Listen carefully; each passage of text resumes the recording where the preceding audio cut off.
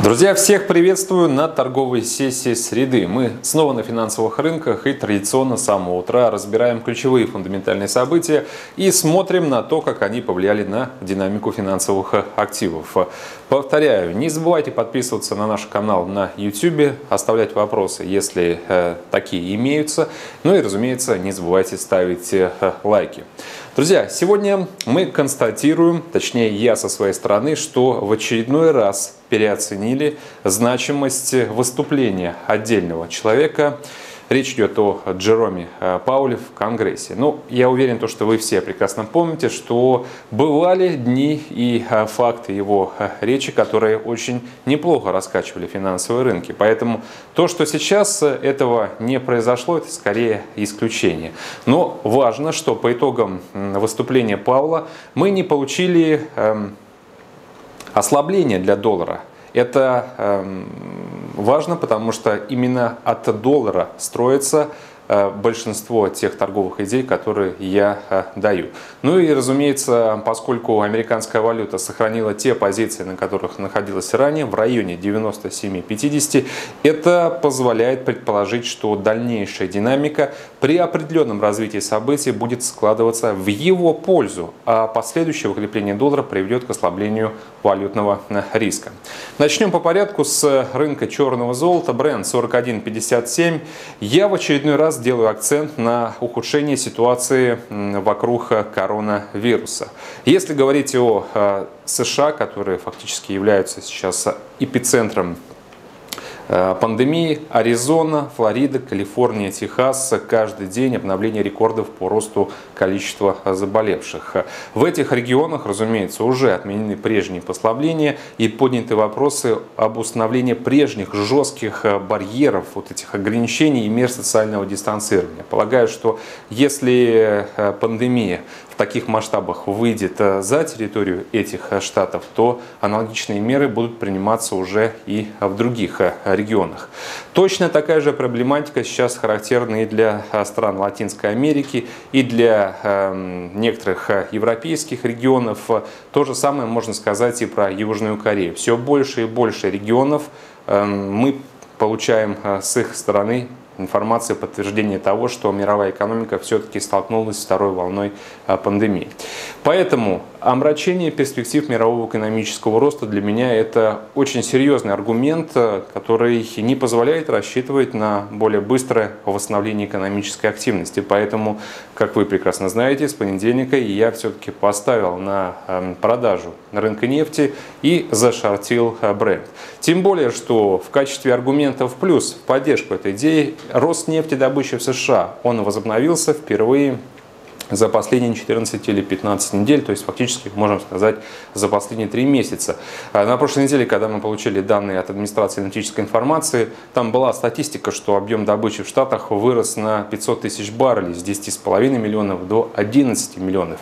И сегодня, друзья, у нас снова свежие, актуальные цифры. В 17.30 выйдут э, данные по запасам соответственно, будем анализировать статистику э, за прошлую неделю. Э, посмотрим не только за тем, насколько могли увеличиться запасы, но и за объемом нефтедобычи. И что-то подсказывает мне, что Штаты остаются на траектории роста именно предложения с их стороны.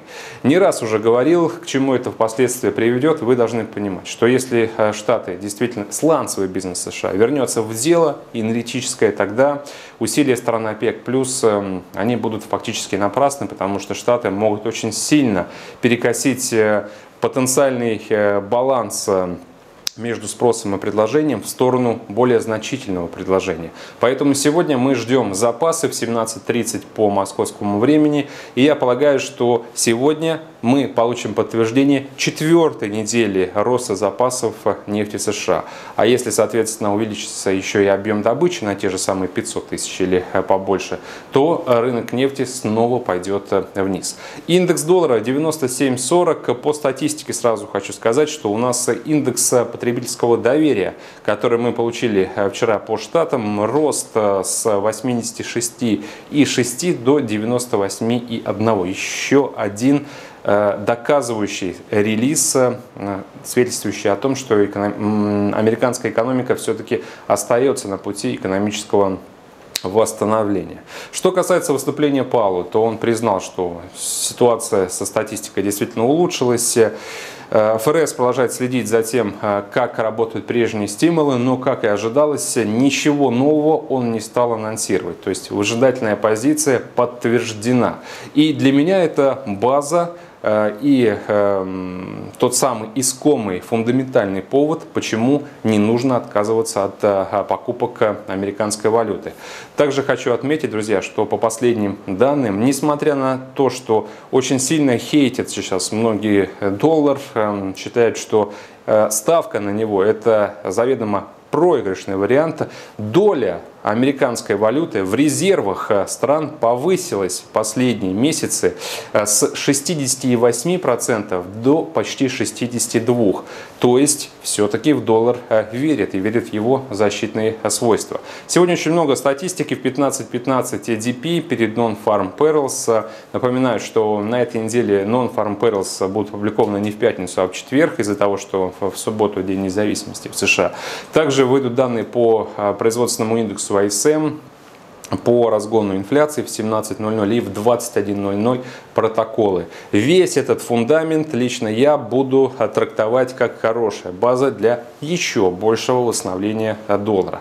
Золото 1784. Если полагаться на влияние и воздействие на золото риска распространения коронавирусной инфекции, то да, золото будет расти дальше и мы увидим очень скоро 1800 долларов за тройскую унцию. Тех, кто не открывал длинные позиции раньше, сейчас Друзья, нужно просто смириться с тем, что не удалось вовремя войти в рынок и ждать потенциального, весьма вероятного отката, чтобы это сделать.